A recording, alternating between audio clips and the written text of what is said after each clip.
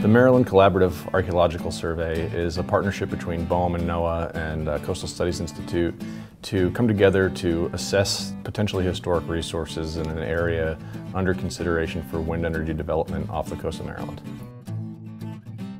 So under the National Historic Preservation Act, federal agencies have a responsibility to ensure that any of their undertakings don't impact uh, potentially significant cultural resources, in this case offshore shipwrecks that may be embedded in the seabed where they're considering development.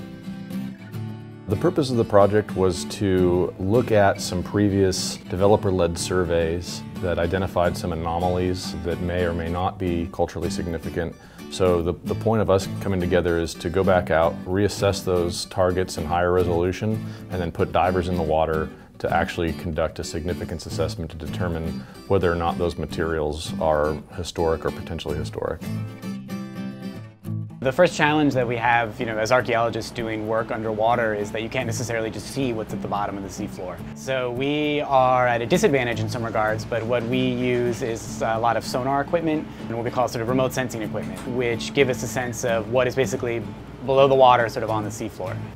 So this thing here is a what we call a sector scanning sonar, and it's type of equipment that uses sound to basically give an image of the seafloor. Another type of equipment we use that's very similar to this is what's called a side scan sonar, and that's a piece of equipment that's actually towed behind the vessel while you're moving.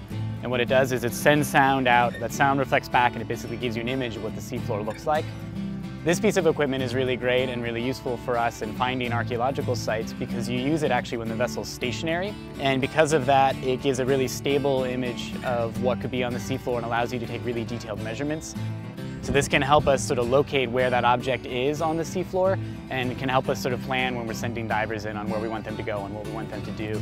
So we do send divers down to make final confirmations, to get measurements that are very precise, to look for details that are not evident in the imagery.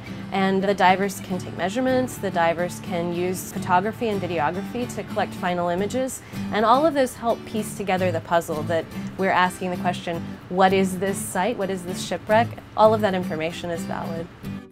This project is a, a, unique collaboration. It's the third year of an ongoing partnership with NOAA's Monitor National Marine Sanctuary, with East Carolina University, with the Coastal Studies Institute, and with a number of other partners. And what we do is we come together and we bring all of our very unique and important skill sets. So we have archaeologists, we have experts in photography and videography. We have uh, diving safety experts that are on the vessel. We have uh, the use of the vessel from Monitor National Marine Sanctuary. So all of these things come together. We bring all of these assets to bear and, and we really come up with uh, a lot of valuable information in a very short period of time. I think a project like this is very important because there's a lot of interest in shipwrecks, there's a lot of interest in our underwater cultural heritage, and what this allows us to do is bring all of that information back to the public, to show the public that your federal dollars are actually working to protect your heritage. Underwater cultural heritage is kind of unique because it provides every time you see one of these shipwrecks, a very good time capsule. It shows us the, the background of our country, how things developed, and especially here in Maryland, where the history is so tied up in the maritime industry, it's extremely important for us to help share that information.